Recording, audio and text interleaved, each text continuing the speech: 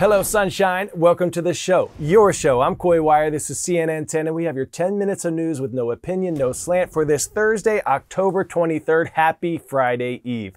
We begin with some big news regarding one of the most common and often most serious food allergies, peanuts. 10 years ago, a landmark study proved that introducing peanut products to young babies could help prevent them from developing life threatening allergies. Now, a decade later, new research is showing just how effective the unique approach has been. Our Meg Tirrell has more. Well, about 60,000 U.S. kids are estimated to have avoided having a food allergy um, after guidelines were changed in 2015, specifically about the early introduction of peanuts to their diet. Now, uh, this is a study from researchers at the Children's Hospital of Philadelphia. They used electronic health records to look at diagnoses of food allergies and specifically peanut allergies around this guidance change. And the reason the guidance was changed was there was a landmark study in 2015 that showed early introduction of peanuts to babies, you know, between about four months and 11 months of age, was associated with a, a significantly decreased risk of developing dangerous peanut allergies uh, and for having them later in life. And so the guidance was changed. What they found is that um, after that 2015 guidance, specifically for high risk babies, uh, there was a 27% decline um, in uh, peanut allergies. And then after that guidance was expanded in 2017, that decline uh, went to 40%. And so obviously, obviously, food allergies and specifically peanut allergies are a huge issue. Um, 8% of US kids is estimated to have a food allergy, and 2.2% of kids are um, thought to have peanut allergy. And so the researchers here say this is evidence that introducing peanuts and uh, other allergens as well, potentially, uh, is a good way to reduce risk of developing these allergies over time. Uh, and the guidelines right now are around four to six months of age um, in consultation with pediatricians. Now to the global manhunt for the thieves who stole crown jewels from the Louvre Museum in Paris in broad daylight in just seven minutes' time. Museum officials say there are now around 100 investigators working on this case.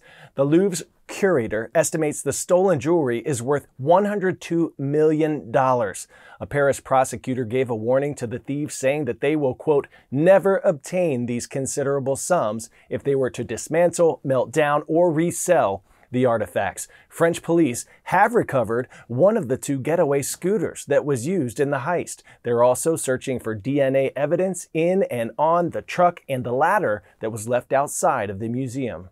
Space news now. As NASA races to return astronauts to the moon, it appears they may be rethinking their reliance on Elon Musk's SpaceX to do so. U.S. Department of Transportation Secretary Sean Duffy, the acting head of NASA, says he is ready to reopen the bidding process for Artemis 3, the historic moon landing mission slated for as soon as the year 2027.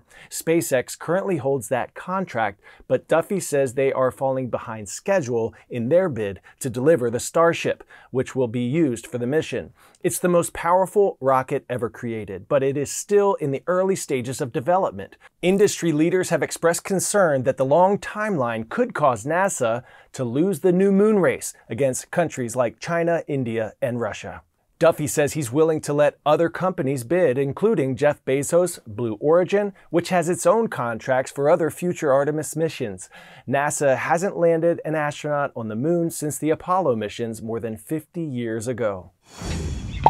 Pop quiz hot shot. What does the term etude mean in piano music? Slow lyrical work, study or exercise piece, fast dance piece, or improvised solo? If you said study or exercise piece, you better work. Frederic Chopin is the composer most famous for his etudes, short, technically challenging songs that also have a great emotional and musical depth.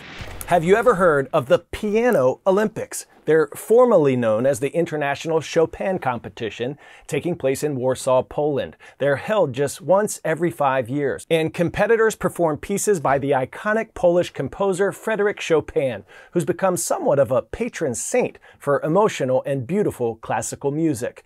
This year's winner Eric Lu, a 27 year old classical pianist from Massachusetts, was selected the winner by a panel of 17 judges. He beat more than 180 other talented musicians. Here's part of this Chopin showdown.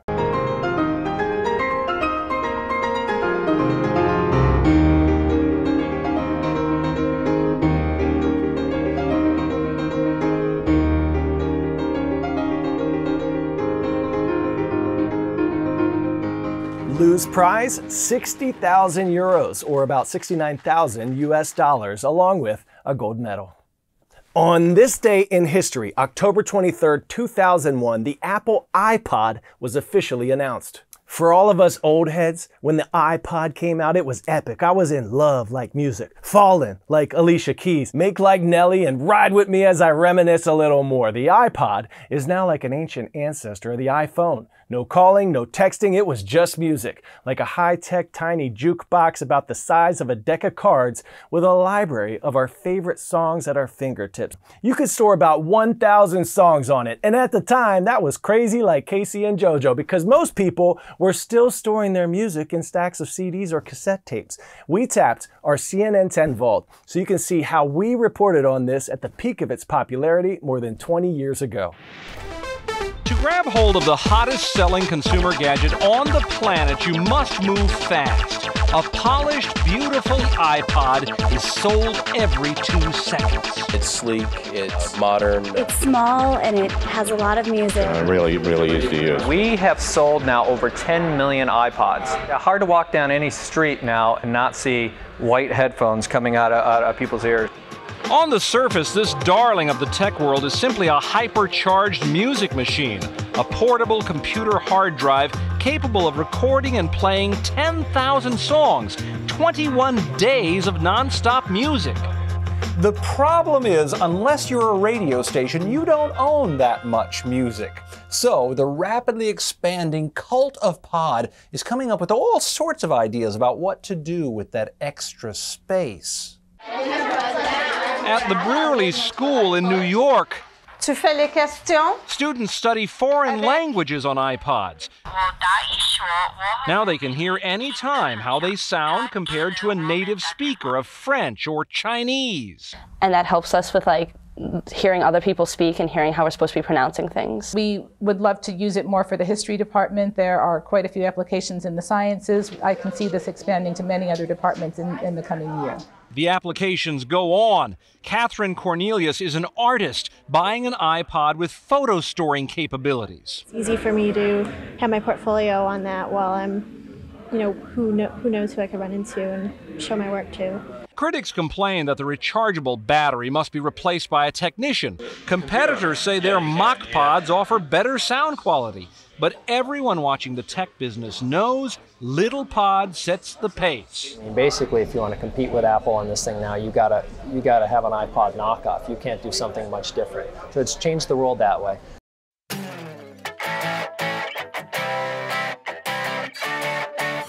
Today's story getting a 10 out of 10, a selfless St. Louis teen using a once in a lifetime chance to help others in need. 17 year old Kat Gaylord has been in and out of the hospital for nearly her entire life, battling a brain tumor, and she wanted to find a way to give back to those who helped save her life. I wanted to really raise money for my surgeon, who's been a big part of my life since I was three years old. I didn't know exactly what way I wanted to do it. She used her wish through the Make a Wish Foundation to launch her own line of special bracelets.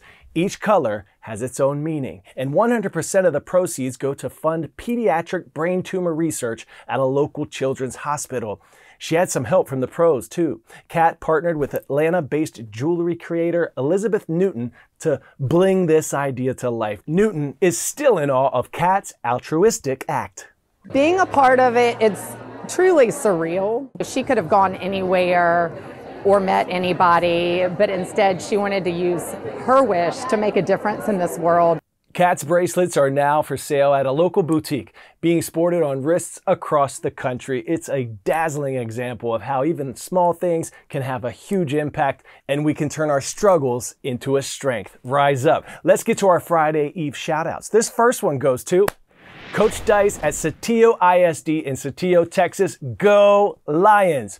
And this shout out goes to Mr. Simmons at Mid Carolina Middle School in Prosperity, South Carolina. Thank you for making me and my team a part of your day. Thanks to all of you who've been subscribing and commenting on our CNN 10 YouTube channel for your shout out requests. Hope you have a thoroughly thoughtful and thriving Thursday. I'm going to see you right back here tomorrow for Friday. We are almost there. I'm Coy Wire, and we are CNN 10.